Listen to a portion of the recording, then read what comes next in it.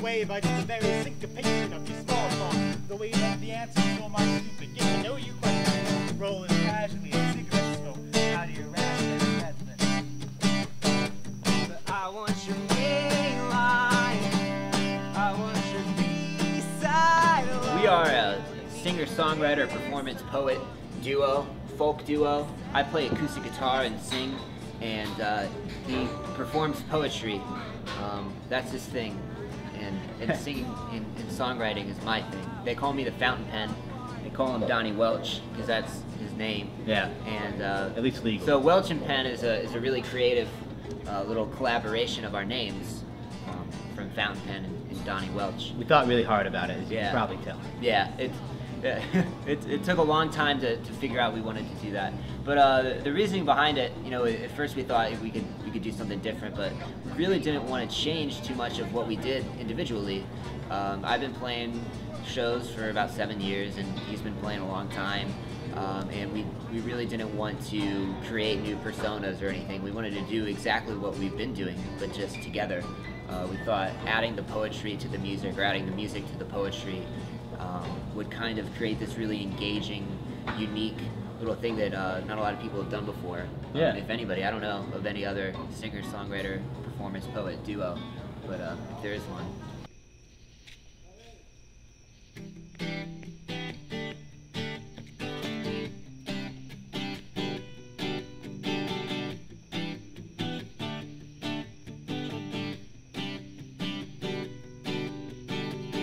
First time I met you, I felt like I'd fallen backwards two times. Found myself in the 50s dive ball, and there you were. With that rockabilly body curves, like an upright face.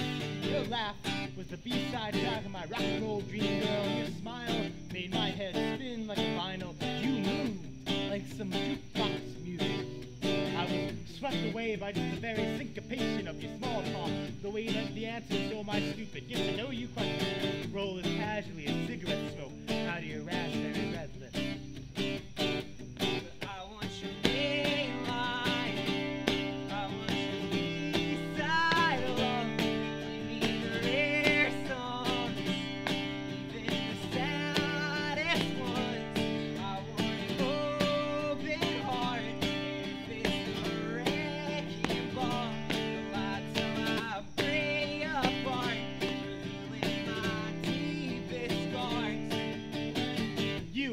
rock princess with a penchant for riot girl style. From your pin-up curls all the way down to the very soles of your Doc Martens.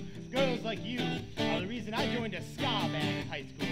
Because we are a monster. A collision of two bodies defying the idea that we have to be fragile. We just want to know what we're made of. Even that means having to break ourselves open so we can look inside and see.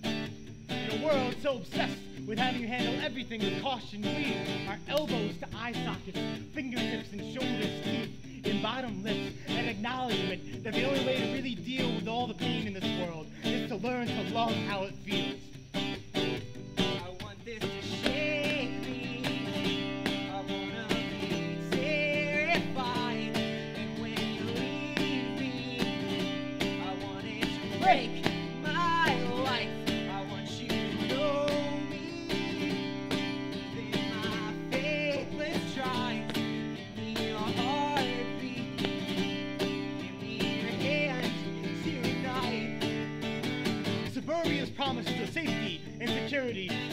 By oxycodone, divorce, and a teenage hooligan. With our loud music and crazy ideas, our irrational fears of being trapped in cubicles and offices like our parents have made us backseat romantics, late night Bud Light philosophers, backyard anarchists, and bored revolutionaries. It has always been us against the world, hasn't it? Having eyes like yours can't hurt the odds, and green is my lucky color if there is such a thing. So tonight, I'm taking bets. Besides, if God exists, he's a gambler, waiting for someone to call his bluff on eternity. So, what do you say you get these dice blown and let them roll? Sure, we might win big, we might lose everything, but at a time when even tattoos can be laser removed, nothing is forever anymore. There's no longer such a thing as permanence, so wrap the arm around my waist. We'll go over to that jukebox, drop in a quarter, and put on some Glenn Miller, Squirrel Nut Zippers, or whatever suits your fancy, and find ourselves a song we can swing to.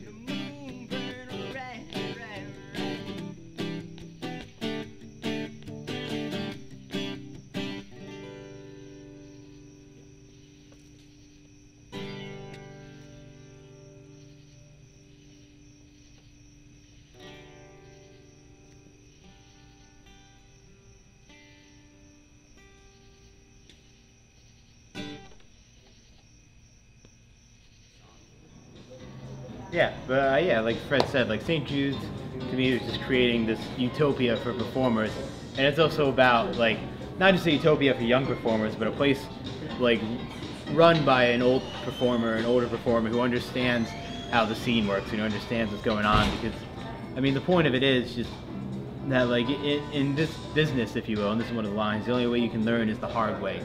So St. Jude's is this place where you can go back to and like figure yourself out and try to remember why you wanted to do whatever artistic endeavor it was you wanted to do before you got caught up in the rat race aspect of art.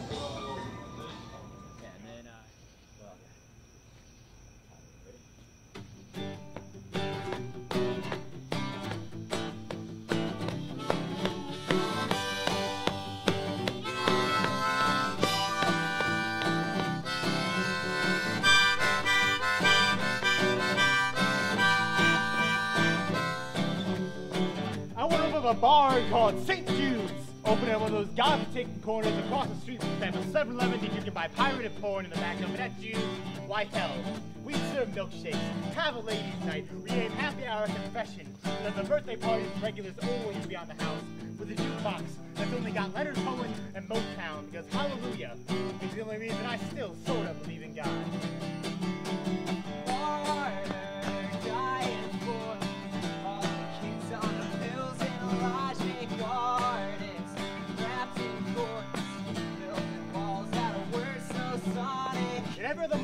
have an open mic where the spotlight looks closer to a halo. And after every set, we go up and give them a shot of whiskey and say, here you go, kid. You're gonna. Because it don't get any easier from here. Pretty soon, you'll start contemplating fame. Doing things only because you know that they will get you laid and forgetting all the reasons and all the people you started doing this for to begin with.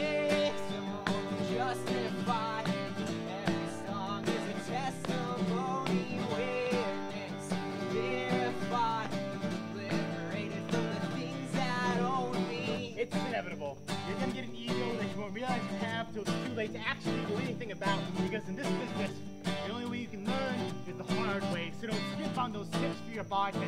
You're gonna be awful close to them because around here, the only miracles we get are free beer and sunglasses. But we'll make those windows out of stained glass so people won't forget to go outside for themselves just how gorgeous this world